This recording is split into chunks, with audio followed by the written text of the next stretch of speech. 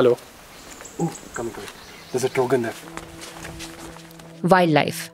You want to see wild animals, you want to track them, you want to unpack how they live their lives. But visuals give you only part of their story. To complete the picture, what if you also started listening to animals? After all, animals communicate, and a lot of that communication is through sounds.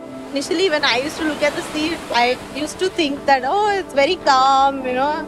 But then when you put down a recorder, there's this whole world underneath. You really can't miss the call. It is so loud and so in your face that you're wondering what's going on. Welcome to Wild Frequencies, a three part mini series on Mongabay India's podcast channel, Everything Environment.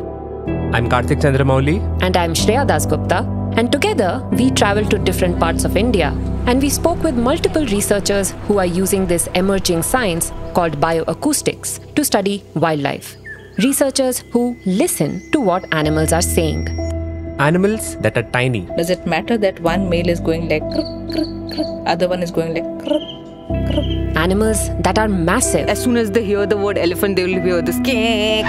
Animals that are audible to us. People call it the ghost of the grasslands. And animals that we humans can't hear. So they're extremely active. Oh, that's a different species. In this series, you'll hear wildlife researchers from India share their stories of animal sounds. And they'll decode those wild frequencies for us one song, one howl, and one chirp at a time. You can find Wild Frequencies on Mongabay India's Everything Environment podcast feed. The first episode will be out next week.